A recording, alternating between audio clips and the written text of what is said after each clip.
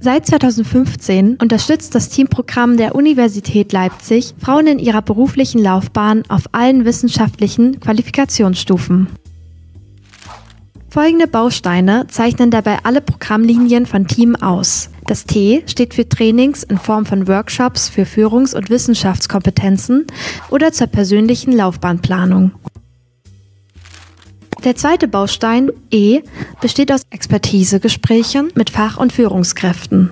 Das A steht für die Allianzengesprächsrunden. Hier stellen weibliche Rollenbilder ihren beruflichen Werdegang vor, um auch berufliche Perspektiven außerhalb der Wissenschaft aufzuzeigen. Der letzte Baustein M bietet das Mentoring mit Fach- und Führungskräften innerhalb und außerhalb der Universität Leipzig an. Der Programmname Team selbst steht dafür, dass die Gruppe aus Frauen aller Fachrichtungen sich gegenseitig unterstützen und gemeinsam das Programm mitgestalten.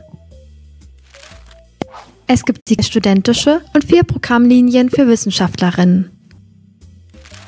Bei Wissenschaft findet statt, bekommen Studentinnen die Möglichkeit, Karrieremöglichkeiten in der Leipziger Stadtverwaltung kennenzulernen.